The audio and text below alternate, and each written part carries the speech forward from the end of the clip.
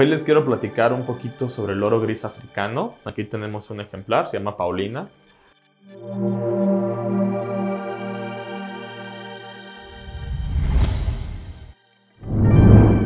Paulina es un loro gris africano de la especie que conocemos como Citacus eritacus eritacus, porque es importante mencionarlo, tenemos dos tipos de loro gris.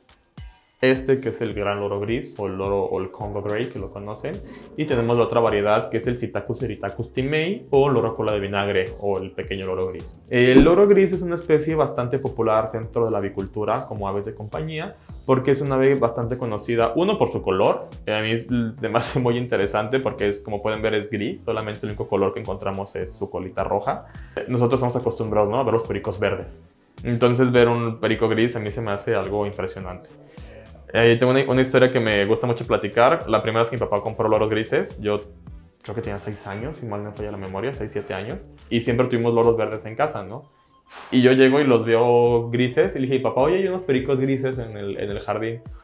Y mi papá me platica, ay, no los metí ayer que llovió y se les cayó el color, ¿no? Y yo mucho tiempo en mi infancia creí que los loros grises eran loros verdes que se les caía el color. fuera de esta anécdota de, de la infancia, un loro muy inteligente, es de los loros más inteligentes dentro de la, de la, de la avicultura.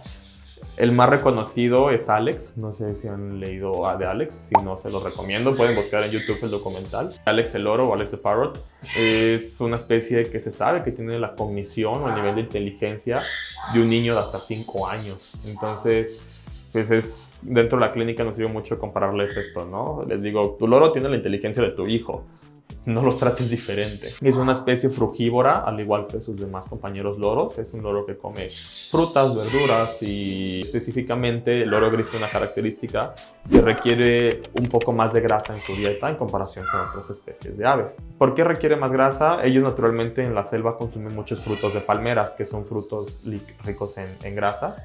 Y en cautiverio siempre recomendamos ellos darles un poquito más de, de energía, la que le decimos nosotros. Eh, aportamos un poquito más de nueces, semillas de girasol, pistaches, aceite de coco y actualmente en el mercado encontramos ya alimentos... Eh, ya, ya, ya.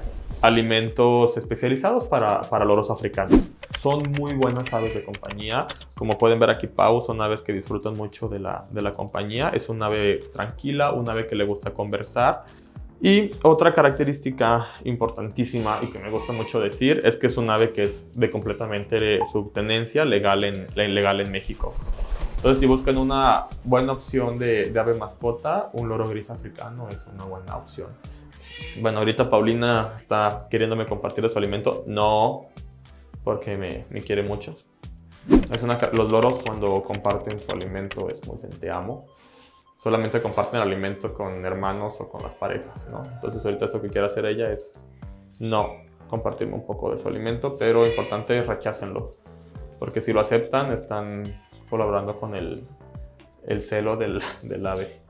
Hay que brindarles calor, hay que brindarles humedad. Este, yo siempre recomiendo en general para todas las aves mantenerlos en un ambiente de 28 a 32 grados y esto nos ayuda bastante con, con ellos, ¿no? Evitar las corrientes de aire frío, evitar este, la lluvia, evitar este, las heladas, etc.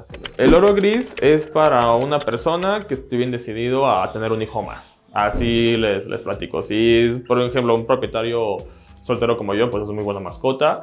Este, si alguna familia, o sea, es lo que te platiqué, ¿no? El oro es tan inteligente como tu hijo, no me lo trates diferente.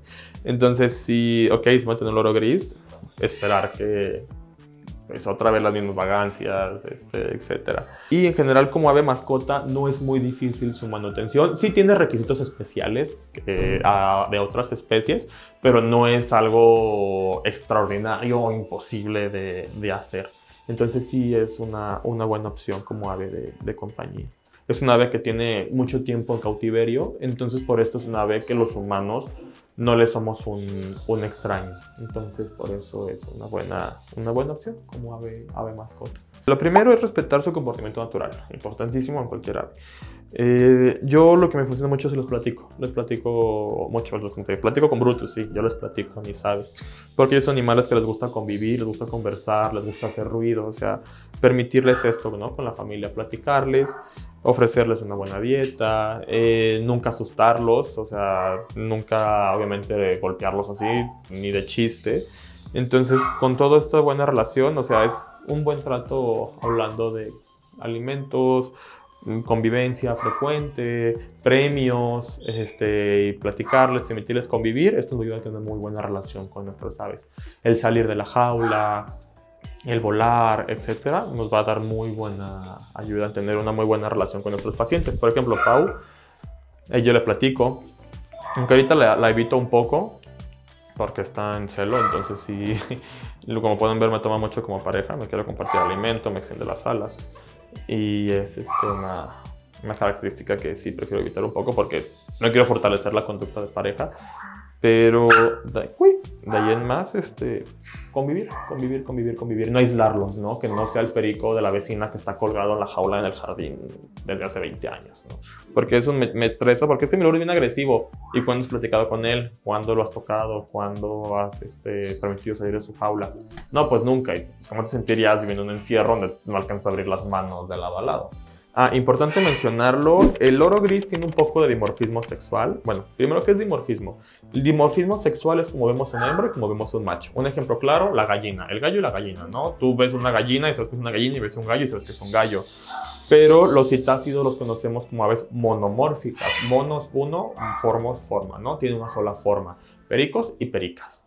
Hay algunas especies, son pocas, que sí tienen diferencia hembra de macho pero este, la gran mayoría de loros decimos que son exactamente iguales, hembras y machos. Por ejemplo, loros grises no es regla, pero las hembras, como pueden ver a Pau, son un color, un gris un poquito claro, y los machos son un gris más oscuro tirándole, no a negro, pero sí son un gris más oscuro. Entonces es una de las principales este, características en esta especie.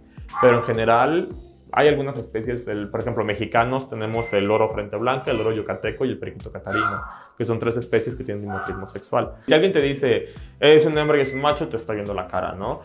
Eh, bueno, a menos que un oro eclectus, ¿no? Macho verde, hembra roja, pues no hay pierde. El oro de collar indio tiene collar el macho y el hembra tiene collar. Bueno, todo el, todo el género cara. Entonces, eh, pero en grandes reglas son exactamente iguales a menos que sea cierta especie que sí sea diferente, pero a grandes rasgos no, no tenemos diferencias en ellos.